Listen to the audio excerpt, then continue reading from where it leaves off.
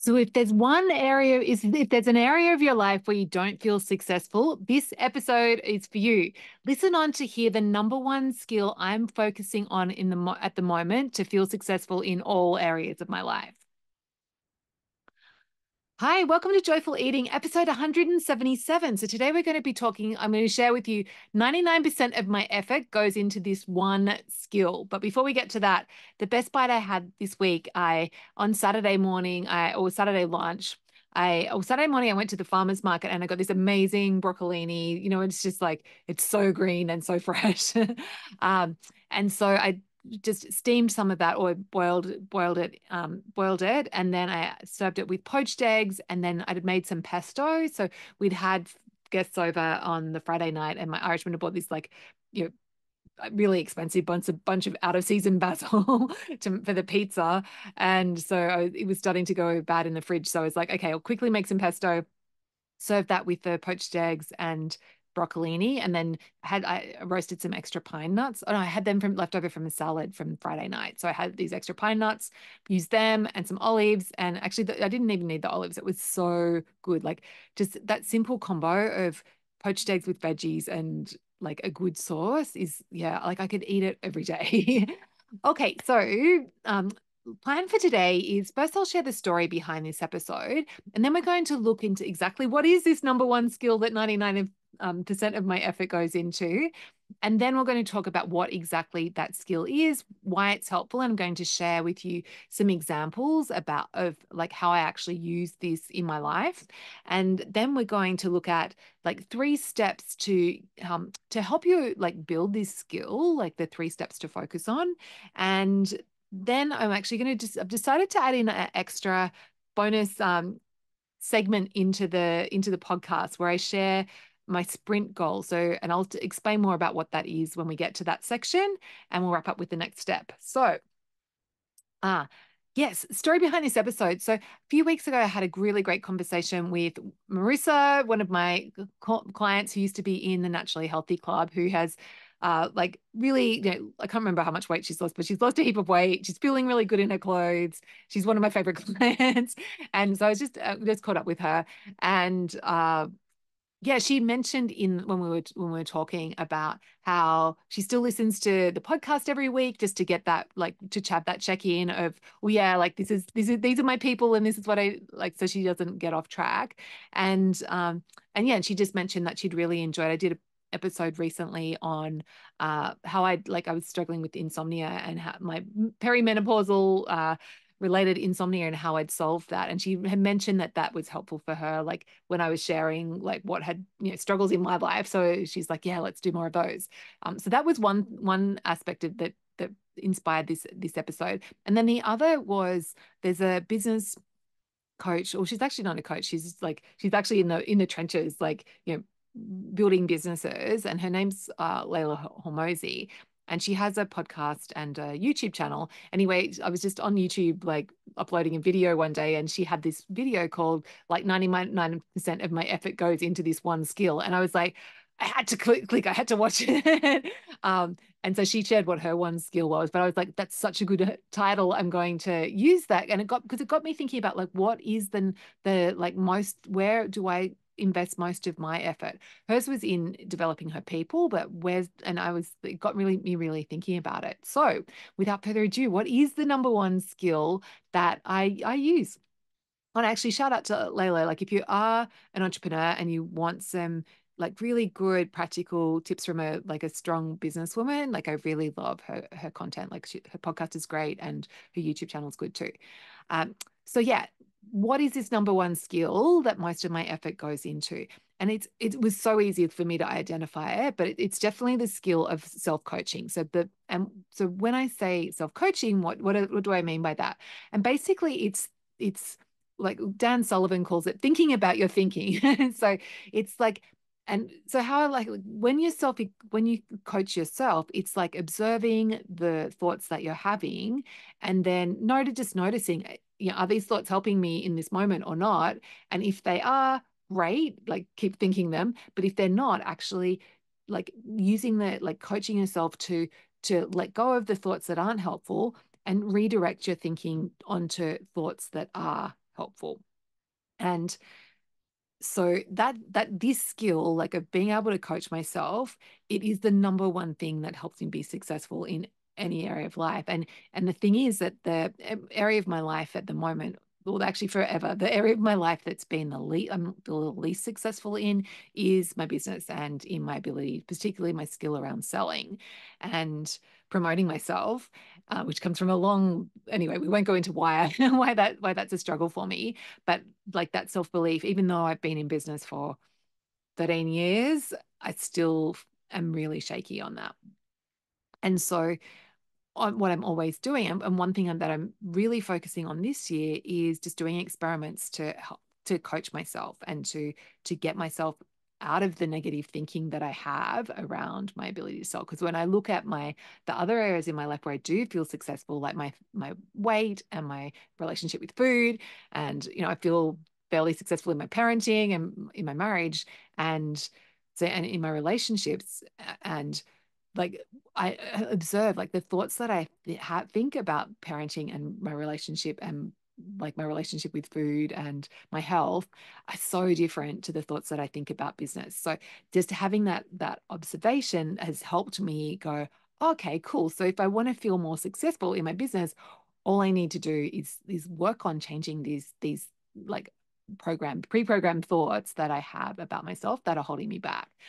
Um, so yeah, this is that's I guess that goes into a bit of the why this is like why I can see why I see this as the number one skill and why like it mindset is everything. And when I work with people and I coach people, getting the mindset piece right is the number one thing that I do as a coach to help them, whether that's learning to feel confident in the kitchen with, with, joyful cooking, or whether that's helping them lose weight with ease, like Marissa's done in the Naturally Healthy Club it's always just getting the mindset right, getting the thoughts right, and then the rest follows, like the actions and the results follow from the mindset work.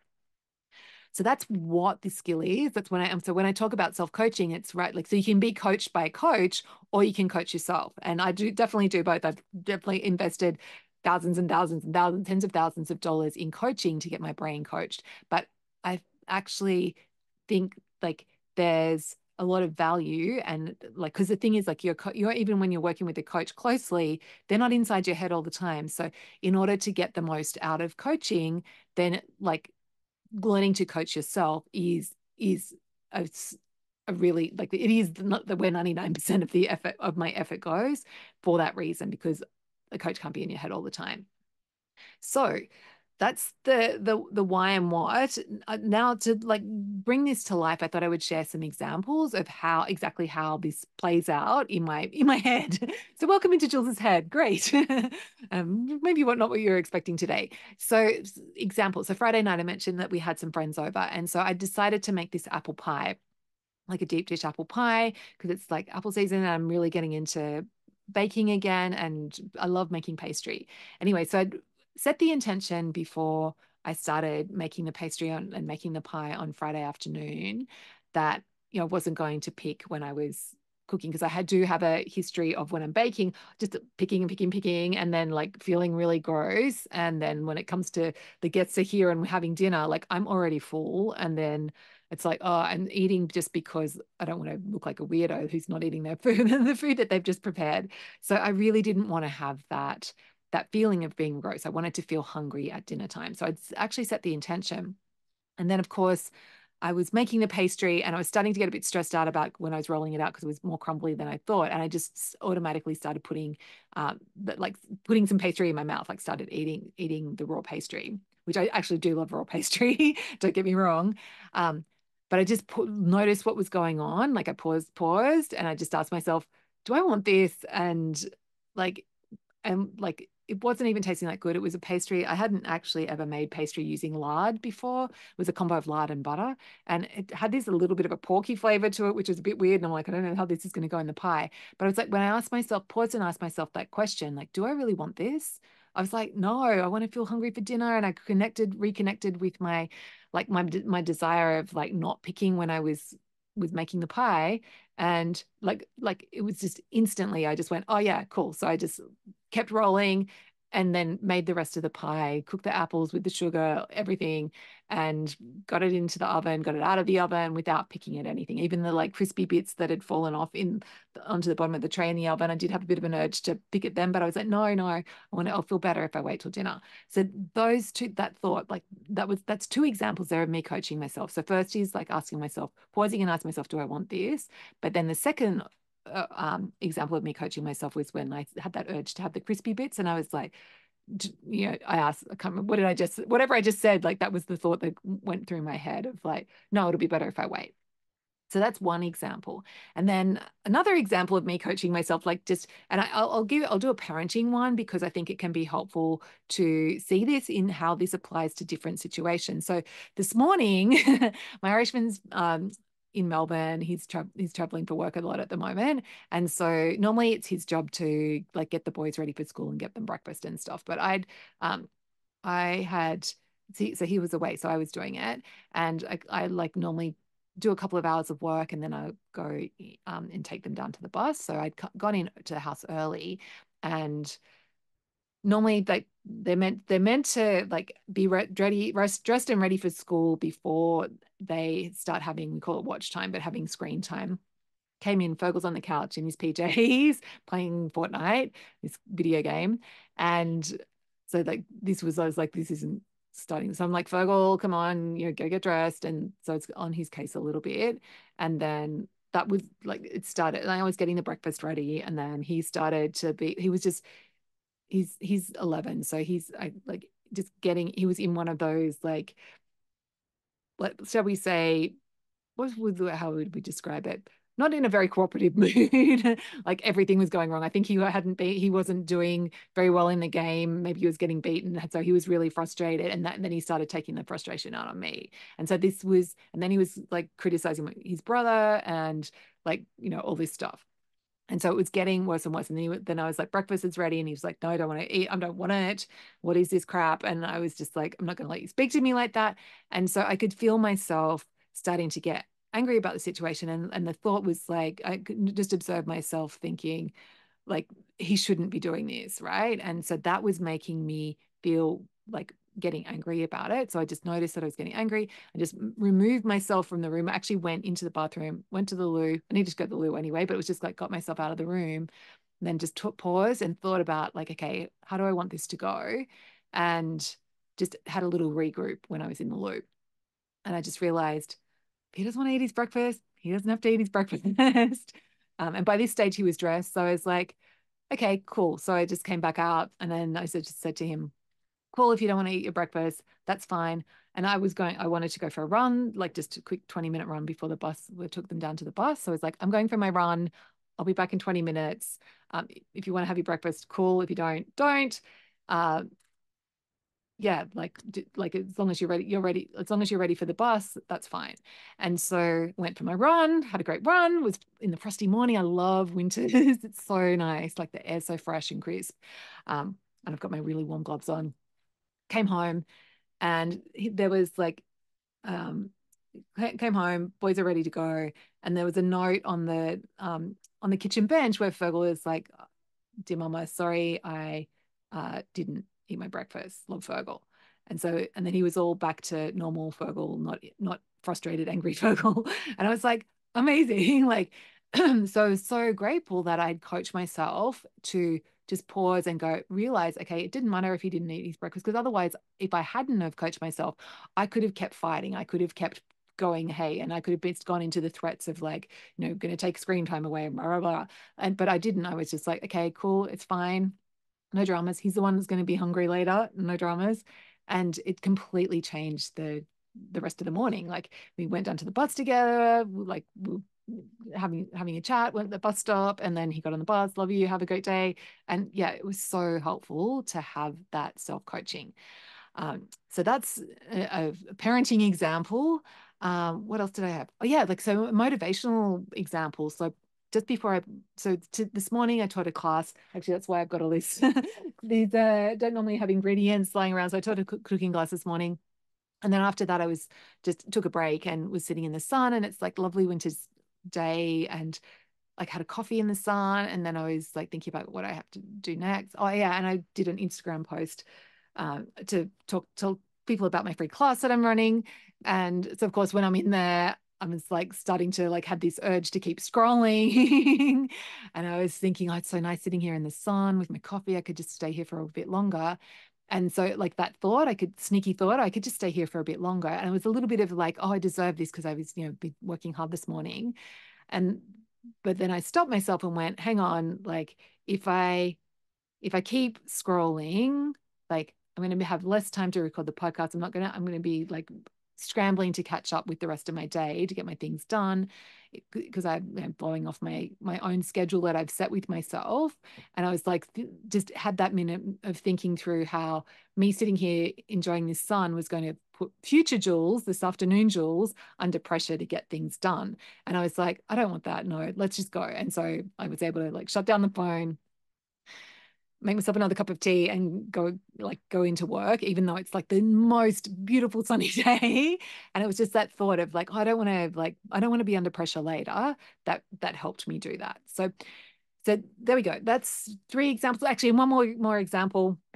So last night uh when so yesterday like I'm feeling a bit was feeling a bit like premenstrual and just bloated and not great. And then we had we're having dinner and I had it like about I don't know half of my dinner, and I was like, like I knew that I like had had enough to eat. I just didn't feel I felt you know, didn't want more food, but it was like you know when you're feeling a bit ruddy and you're just kind of like wanting to keep eating, and I so I just had this thought. I coached myself in the moment, like I knew what was going on because I so practiced at it, and I was like, hang on, more food isn't going to make me feel better now, and and I was like, yeah, I know, like to myself, and so I just put the plate you know away from me so it wasn't right in front of me anymore and you know continued the conversation with at the dinner table and then you know it was fine like i ended up you know putting the leftovers away so i've actually will have them for another meal and it, it was really easy but if i hadn't have had that thought about how more food isn't going to make me feel better now I could have easily finished the plate, plate, which in the scheme of things, you know, not a big deal. But if I keep doing that every single day, all of a sudden my weight does become a problem. So so, yeah, there's some examples. The skill of self coaching, number one thing, spend most of your time doing it, and I guarantee it will change your life. Um, so, I've given you some examples. Let's now look at the three steps to like, how can you learn this skill yourself. So, first step with any skill is just decide that you want to do this. So, decide to start noticing the thoughts that are going to on in your head. Decide to start thinking about your thinking like just observing what the thoughts are happening. And um and if you want some like if this is a new skill like or it probably will be a new skill for you like you may might want to just have an anchor to remind yourself to do that. So whether that's you set a reminder on your phone or you just decide that um, you know, every time you have the urge to pick up your phone, you're going to just observe, like, oh, what am I thinking about? Or maybe it might be you use when you go to the loo as the anchor of like when you're washing your hands after you go to the loo, just use that as your trigger for, okay, when I'm washing my hands, just check in with, you know, what am I thinking? And so or it can be anything like your trigger can be anything but just so that you uh, have this that concrete reminder every day that like all the like multiple times a day probably to just start observing the thoughts that you're having.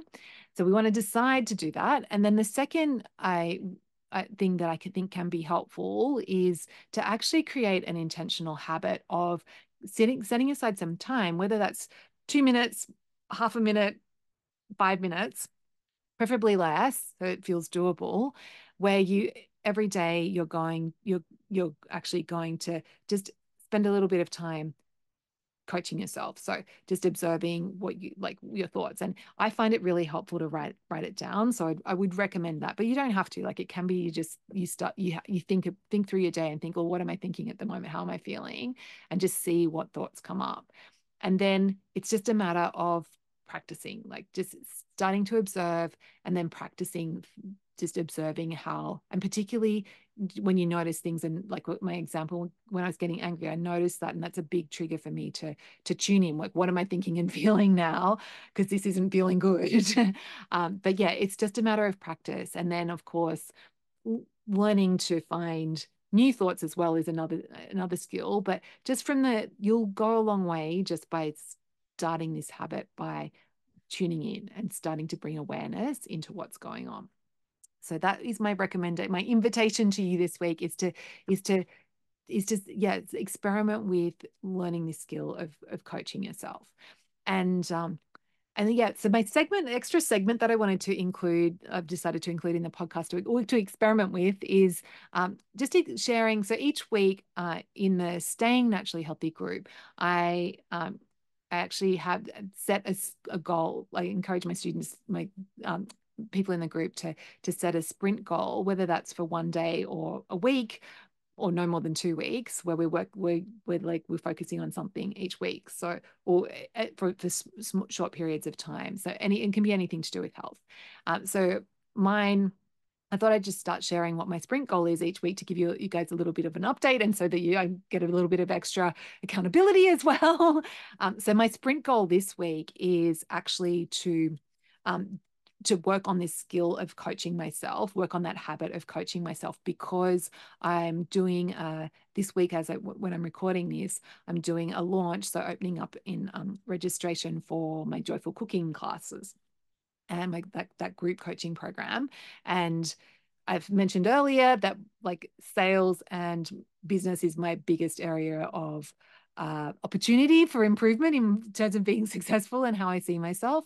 So, one of the key things I'm doing this week, my sprint goal this week, is to coach myself every day around how I'm feeling about and thinking and feeling around this um, this launch so that rather than letting myself go into the normal negative fear and loathing self-loathing and compare and despair and like the, the river of misery as my coach my business coach calls it to so to make sure that I, if I do go into the river of misery, I coach myself out of it, uh, and actually you, know, you have more thought, helpful thoughts.